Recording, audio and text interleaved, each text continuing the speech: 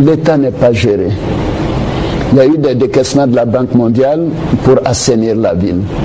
Ça fait un mois ou deux et puis après c'est reparti. Quand il pleut, des inondations partout.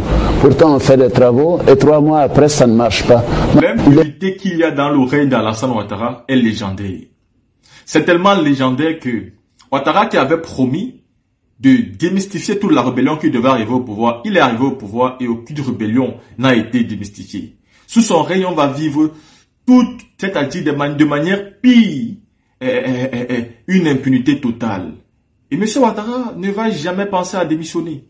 Ouattara a trouvé un pays en lambeau parce que sa rébellion a combattu quelqu'un qui était président de manière légale. Ils ont porté les armes pour combattre ce monsieur. Mais Ouattara est arrivé et ça a été une totale impunité. Donc je vais vous montrer une première vidéo qui prouve les impunités de l'Assane Ouattara. Quand il veut mieux faire, il élimine tout simplement ses adversaires. Il ne les fait pas juger. Parce que si on va juger quelqu'un comme Ibé, il y a des vérités qui vont sortir. Si on va juger quelqu'un comme Ouattao, il y a des vérités qui vont sortir. Si on prend des rebelles et on les juge, il y a des vérités qui vont sortir. Alors quand ça ne va pas, on peut les éliminer, mais on ne peut surtout pas les tuer. À côté, vous aurez une autre vidéo aussi de quoi Justin qui a décidé de, parler et d'annoncer la bonne nouvelle aux parents de Touba, car le président Laurent Babo sera candidat en 2025 aux élections euh, présidentielles. Mais je vais aussi vous montrer une vidéo révélatrice d'Alassane Draman Ouattara, qui est clairement en train d'expliquer si c'est lui qui a tué Ibé ou pas. Qui nous explique aussi que c'est lui qui a demandé que le président Laurent Babo soit conduit en prison et qu'il aurait et, qu'il fera pareil et, qu'il avait fait pareil, je vais dire, pour eBay aussi. Mais pourtant, les journalistes posent la question de savoir qui a tué eBay? Et les journalistes demandent ici si ce sont les forces de maintien de l'ordre de Ouattara qui ont tué eBay.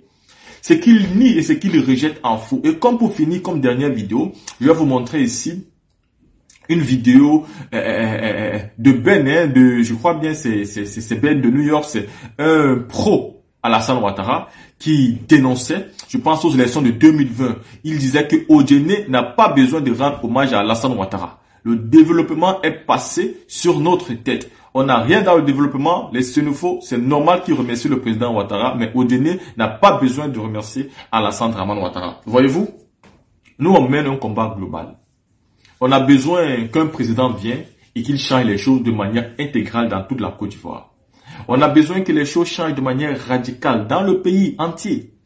On n'a pas besoin qu'une petite ville soit gérée, une petite ville soit gérée. Voilà pourquoi il dit qu'il y a des personnes qui suivent la politique, mais qui n'ont pas de conviction politique. Voilà pourquoi il dit que Ouattara est dans une coquille vide. Des personnes qui n'ont pas de conviction à son projet politique, qui suivent des intérêts égoïstes et particuliers. Si tu satisfais leur petite région, ils sont contents, ils t'apportent leur soutien. S'ils ne sont pas satisfaits, c'est fini, basta. Tant qu'eux sont satisfaits, même si toute la Côte d'Ivoire est en feu, ce n'est pas grave. Et là, c'est un problème parce que ce n'est pas une condition. En politique, en tant que militant, on a une idéologie politique. On suit quelqu'un parce que lui, il remplit les cadres de notre idéologie. Mais quand il sort de nos idéologies, on a un problème avec lui, un problème de principe, un problème de morale, un problème de conscience. Eux, ils n'ont pas ça. Ils ont un problème tout simplement quand une ville n'est pas gérée. Un problème si Ouattara n'est pas bien avec Soro. Un problème si Ouattara tue un peu de Soro. Si ceux-ci sont à l'aise, eux peuvent fonctionner Ouattara sans problème. C'est là où il y a la différence avec nous. La team, regardez toutes ces vidéos que je vais vous montrer. Des crimes. Pas, d'impunité également euh, pour euh, ceux qui ont tué Ibrahim euh, Koulibaly. Ah, Ibrahim Koulibaly, c'est le chef, on le rappelle pour nos téléspectateurs du commando invisible, qui vous a soutenu lors de la bataille d'Abidjan, qui a été tué par vos hommes. Il n'y aura pas non plus d'impunité pour les commanditaires Vous allez trop vite là. Ibrahim Koulibaly, j'ai fait faire une autopsie. Les circonstances de la mort doivent être bien clarifiées. Euh, c'est une bataille qui a conduit à sa mort et nous verrons comment les choses se sont passées. Il y aura une enquête approfondie et en fonction des résultats de l'enquête, nous prendrons les mesures nécessaires. Mais n'avez-vous pas demandé à ce qu'il soit fait prisonnier comme bien Laurent sûr, eh ben, écoutez, si j'ai demandé que Laurent Gbagbo soit fait prisonnier, j'ai demandé la même chose pour Ibrahim Koulibaly. Et de demander au commandant Ibrahim Koulibaly de venir vous voir et de déposer les armes. Et il faut que cela soit fait rapidement. Et je le dis en face de vous, officiers généraux et officiers supérieurs. Si cela n'est pas le cas, votre rôle sera de les désarmer par la force. Si cela n'est pas le cas, votre rôle sera de les désarmer par la force. Koulibaly, Laurent Babo, quand il a été arrêté, sa première phrase a été de dire ne me tuez pas. Les gens lui ont dit, le président nous a dit de toute façon qu'on ne doit pas toucher un seul de vos cheveux. Et vos Mais hommes apparemment, on m'a dit que pour Ibrahim Koulibaly, plutôt, ces gens ont riposté, ont commencé à tirer sur FRC. Mais je préfère ne pas rentrer dans ces détails. Laissons l'enquête sur son cours et nous en tirerons toutes les conséquences. Je voulais vous donner, je voulais vous dire que c'est moi qui ai créé les forces nouvelles. C'est vrai, il y a eu des problèmes. C'est vrai, il y a eu des problèmes.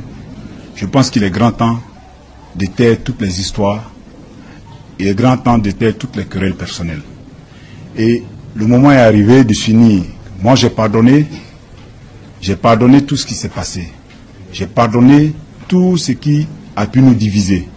Et il est grand temps de finir, de se mettre ensemble pour ramener la paix en Côte d'Ivoire.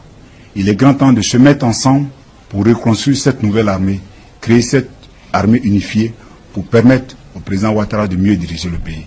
Voilà un peu le message que je voulais laisser et que je demande à tous les Ivoiriens de pardonner. Il y a eu beaucoup d'exactions, il y a eu beaucoup de frustrations, il y a eu beaucoup d'humiliations, mais c'est dans la paix, c'est dans l'unité, c'est dans le pardon que nous pouvons construire une grande nation. Si le jour on va chez Alassane, je les appelle pour les informer. ces gens. Et il y avait aussi. Oui, euh, salut à tous, euh, je suis Ben Sangaré. Je fais cette vidéo pour m'adresser au cadre du Dengili. Euh, J'aurais appris que certains cadres veulent organiser une journée de remerciement à son Excellence le président Alassane Ouattara. Moi, je voudrais dire ici que Odene n'a pas besoin de rendre hommage au président Ouattara. Et Ouati bien, Alassane Nko, Alassane Nko, cɛ an b'a sɛgɛn ten alasana n'a jeni de kɛla o jɛnɛ ye ka waati bɛɛ le développement est passé sur nos têtes on n'a rien eu dans le développement mais là c'est nouveau c'est normal qu'il remercie le président Alassane Ouattara le développement là ça se touche ça se voit à Korogo et dans les, les villes environnantes mais les cas d'Odiene ont fait quoi pour Odiene rien ah, on n'a qu'à dire merci à Alassane Ouattara parce que vous avez été nommé. On ne peut pas dire merci à Alassane Ouattara. C'est pas possible. C'est pas possible. Parce que ce qu'Alassane Ouattara a donné pour Odene là, Odene n'a rien eu. Odene ressemble à tout sauf à une ville. Korogo est une ville moderne. Ça se voit, ça se touche. Il y a quoi à Odene Même l'université d'Odene, on a quel niveau? Mais Bondoukou a eu une université. Man a eu son université. Odene est à quel niveau? Ah, aujourd'hui venez vous asseoir qu'il faut rendre hommage au président Ouattara. On ne peut pas rendre hommage au président Ouattara parce qu'Odiene n'a rien eu dans le développement. Le président a fait des partages, toutes les villes ont eu pour eux. Pour nous, là, on ne sait pas où c'est parti. Et aujourd'hui, vous venez vous asseoir, il faut rendre hommage au président Ouattara. Cet argent-là, prenez pour aller payer une ambulance pour donner à l'hôpital d'Odiene. C'est de ça qu'il s'agit. On ne peut plus entendre ça, mais pour vous, là, vous, vous, ne savez pas que les gens deviennent intelligents. Vous ne, savez pas que chaque jour que Dieu fait, les yeux des gens s'ouvrent. Vous pensez qu'on va continuer dans ça? Vous pensez qu'on va continuer dans ça, vous suivre comme ça? C'est pas possible. Odiene ne mérite pas ça. Le président a nommé trop de cadres à Odiene. Mais aujourd'hui, regarde Odiene. Je pourrais dire un gros campement. Regarde Odiene. Toutes les villes ont évolué. Odiene fait partie aujourd'hui des trois dernières villes de la Côte d'Ivoire. Pourtant, le président a donné le meilleur de lui-même à Odiene. Il a nommé beaucoup d'Odieneka. Mais regardez aujourd'hui, à quoi ressemble Odiene Et venez nous dire qu'il ouais, il faut organiser une journée pour euh, Alassane Ouattara. On ne peut pas organiser une journée pour Alassane Ouattara. On ne peut pas. Ne regardez pas les Korogolais pour dire que vous allez les suivre. Eux, ils travaillent, ils aiment Korogo, ils aiment leur région, ils posent des actes pour le bien-être de leur population. Vous faites quoi? Toujours du tape à l'œil. On n'organise rien. Je vous remercie.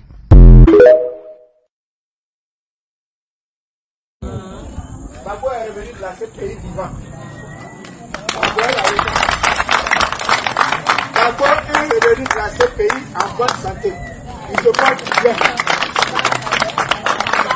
Babo est revenu physiquement en bonne santé, moralement en bonne santé, et il est venu pour se mettre au service des Ivoiriens.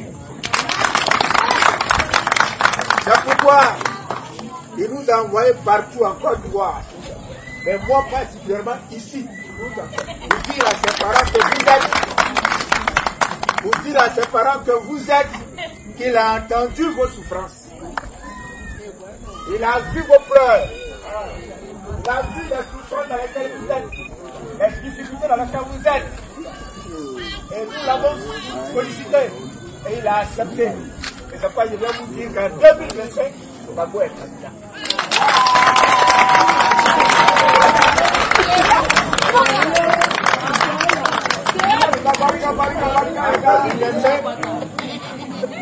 C'est En 2025, il est candidat. Ah, mais pourquoi? Pourquoi il est candidat? En 2025, quand on revient comme ça, les on va se reposer. Mais est-ce qu'il peut se reposer pendant que ses parents sont en train de souffrir? Jamais. Est-ce qu'il peut se reposer pendant que ses parents ne peuvent pas mettre leurs enfants à l'école? Est-ce qu'il peut se reposer pendant que la Dakar est mal payée Le coton est mal payé? Les produits agricoles sont mal payés. Pendant que vous n'arrivez pas à manger, est-ce que Babo peut se reposer? Babo, dans l'intérêt des Ivoiriens et pour le bien-être des Ivoiriens et ses parents que vous êtes, en 2025, il est candidat. Ah,